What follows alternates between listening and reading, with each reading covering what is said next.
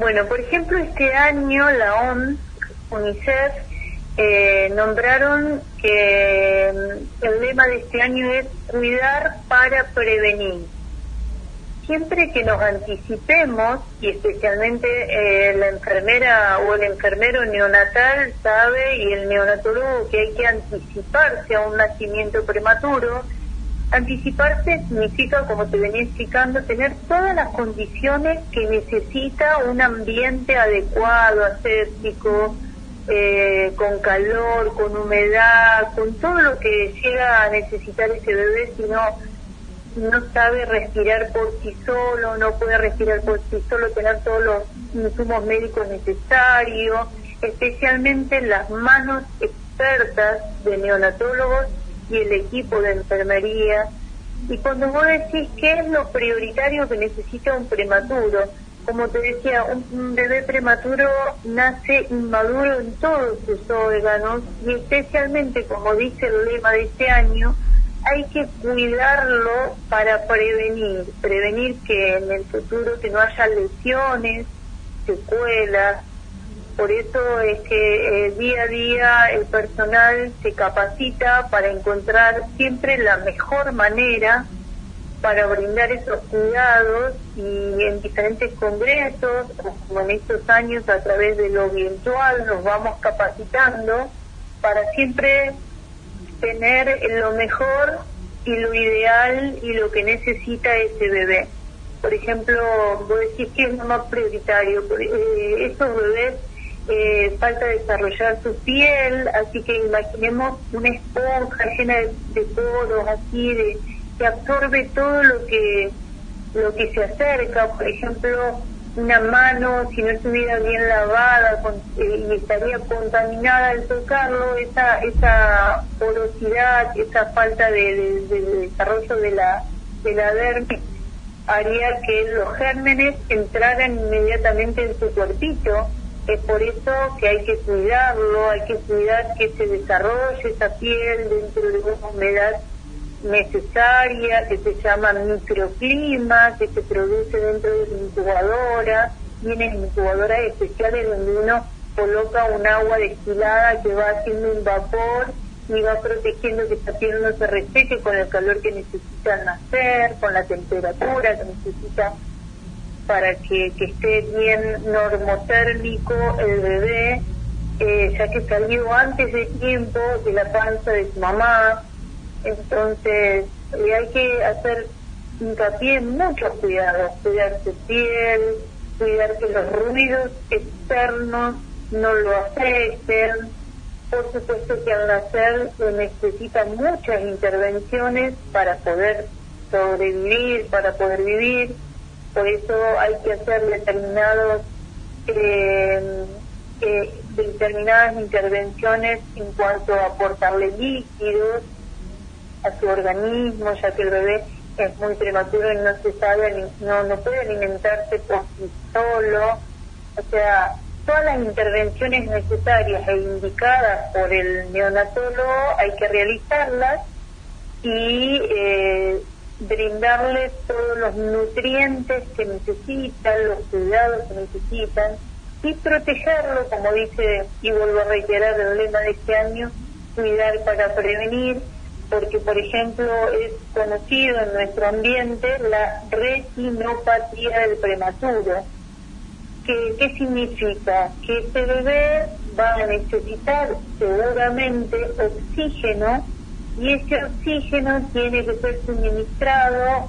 de la forma y, la cantidad justa y necesaria para no provocar lesiones en la retina del prematuro. Justamente eh, sobre eso quería preguntar, Tirina,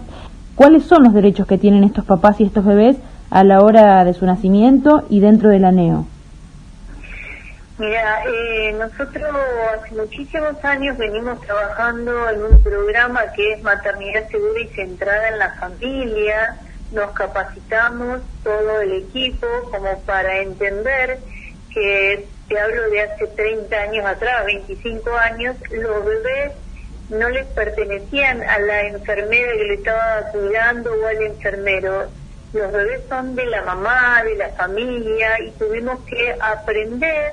a convivir con la familia dentro del aneo, porque si uno eh, mira hacia atrás, tal vez en películas, en informes, usted veía las cunitas solas, una abajo de la otra, o las incubadoras solas, o el personal de enfermería exclusivamente. Hoy en día, y hace ya varios años, estamos acostumbrados a ver a la mamá o al papá haciendo copap. ¿Qué significa? Contacto piel a piel. En el momento que ese bebé prematuro ya está estable, que el médico o la médica dice que puede la mamá alzarlo, ponerlo sobre su pecho, siempre tapándolo, cuidando que no haya pérdidas de calor, y ella puede estar en contacto con su bebé el mayor tiempo posible, es un beneficio enorme que le trae al bebé cuidando su neurodesarrollo, cuidando y aportando el calor de la mamá, normalizando la frecuencia respiratoria, la frecuencia cardíaca. Eso está comprobado científicamente que el contacto piel a piel con su mamá lo protege, le da defensa, eh, ni hablar también del derecho a ser alimentados con la leche de su propia mamá.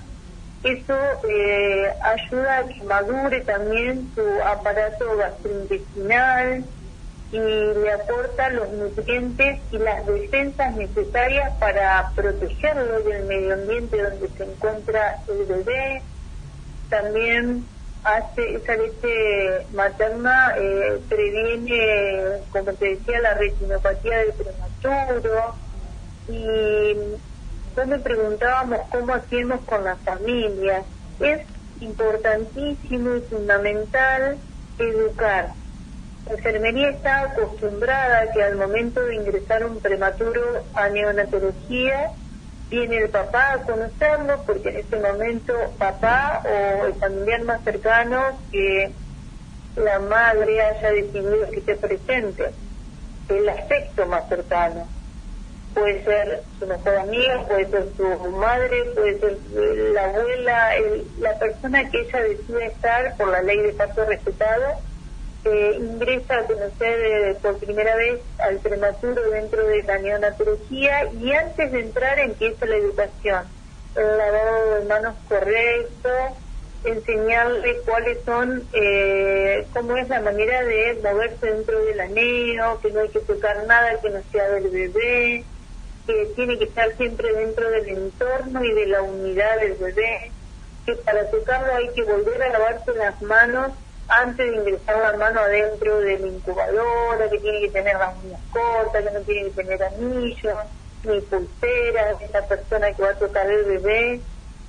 siempre hablando de que el bebé esté estable y que pueda tocarlo, porque hay veces ustedes entenderán que están en, un estado crítico eh, y esa autorización la dan los, médicos. Y al momento que pueda llegar la mamá, que es lo, que siempre estamos esperando, el contacto entre ella y su bebé,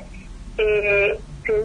esté en el estado que esté el bebé, se enseñe perfectamente a lavarse bien las manos a la mamá y es necesario que la mamá le toque, que el bebé sienta la presencia de su mamá, el calor de su mamá y la conexión que tienen los primeros meses y los primeros días y meses, porque generalmente están tres meses internados aproximadamente en la mío, el contacto entre ellos dos, la unión es la leche materna. Aproximadamente, no sé si tenés el, el número actual, eh, em, ¿cuál es el porcentaje de nacimientos prematuros allí en el Hospital Iturraspe? Generalmente hay aproximadamente 3.000 nacimientos al año en el hospital aproximadamente y de esos 3.000 teníamos datos de 400 al año, 450 prematuros al año, generalmente puede haber alrededor de, de ese número. De, de 3.000 nacimientos, 450 aproximadamente son prematuros. A veces menos, a veces más hubo una época que había casi 4.000 nacimientos, a terminó al año y tal vez rondó entre 500 y algo, pero viste que los números van cambiando, pero siempre más o menos por ahí. Bien. Eh, y también quería hacerte esta consulta tal vez más personal eh, o, que tenga que ver más con, con su área. ¿Cuál es, recordás cuál es el, el bebé más pequeño que les ha tocado atender allí en la NEO? Y la verdad que yo ya cumplo 30 años de antigüedad en, el hospital y hemos tenido muchísimos prematuros, pero eh, haciendo memoria me acuerdo de Milagros, que generalmente por ahí es el nombre que eligen las mamás cuando sucede esta situación, no todos, ¿no? Pero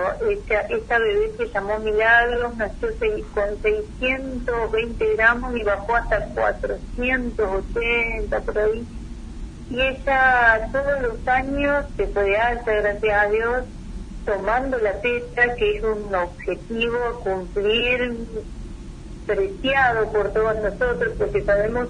todo lo que, que brinda el dar la teta a un bebé prematuro no solo por nutrirlo, sino por contenerlo, ese acto de amor, ese abrazo que se le da al bebé cada tres horas, cada dos horas, cada vez que lo necesita el bebé, lo protege y lo, lo ayuda a crecer. Y esa mamá le dio la teta y todos los años nos traía a Milagros para que, que la veamos lo bien que iba creciendo, lo fortalecida que estaba, cómo iba evolucionando según la edad corregida, porque también en los prematuros hay que hablar de edad, corregida, porque como no nacen de 40 semanas de gestación y tal vez nacen como esta bebé de 26 semanas de gestación, nace con 26 y después los médicos van haciendo los cálculos de edad corregida hasta llegar a las 40 que debería haber nacido. Y bueno, gracias a Dios tengo recuerdo de Milagros y de su mamá que siempre venía a visitarnos y a, mostrarnos y todo, la verdad que se nos encanta el pecho, especialmente al equipo de enfermería que, que pone todo de sí para, para estos prematuros.